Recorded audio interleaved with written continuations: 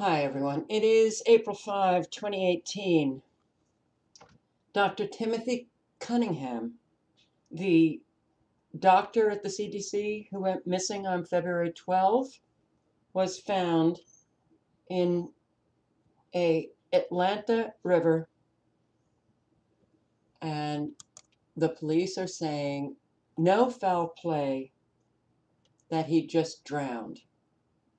Really? If you don't know anything about Dr. Timothy Cunningham, you can click on the link below. I posted a video, CDC Doctor Goes Missing. There's an awful lot of videos on Dr. Timothy Cunningham. Now, the Your Newswire had an article posted before he went missing that a whistleblower at the CDC had claimed that the flu shot was causing the outbreak and that the flu shot was killing people. And after Timothy Cunningham went missing, your newswire said it was Timothy Cunningham. Now, I can't prove that. So, we all know how many holistic doctors have been found well, dead. Either by suicide, and all of their friends and family say there was no reason for the suicide. We know how many times the police claim no foul play when it's clear that there is foul play. You know, how people suicide themselves with a shot in the back of the head. Oh, not one, but two. Or suicide by nail gun. Yeah, shooting yourself with a nail gun. That's how people kill themselves. That's a suicide, no foul play. This world is really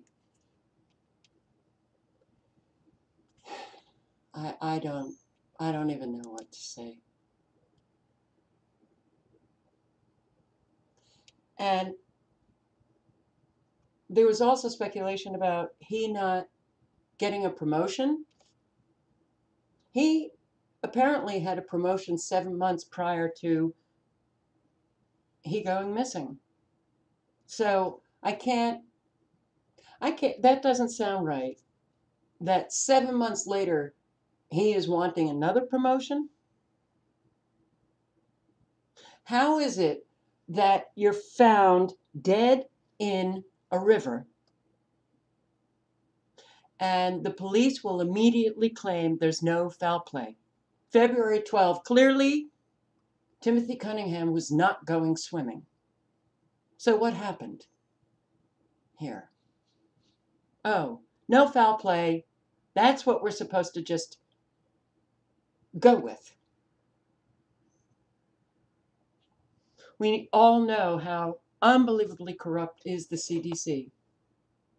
You know, when I read this article, and I want to thank my subscriber for dropping the comment below one of my videos saying, don't know if you heard, but Timothy Cunningham was found drowned in a river in Atlanta. Um, I read this article and I was imagining other doctors at the CDC who want to reveal the truth and then somebody coming up to them and saying, You'll be Cunningham. Can't you imagine that? This is how unbelievably sick and evil, twisted, deranged is this world that we're living in. Very upsetting news. All links are below.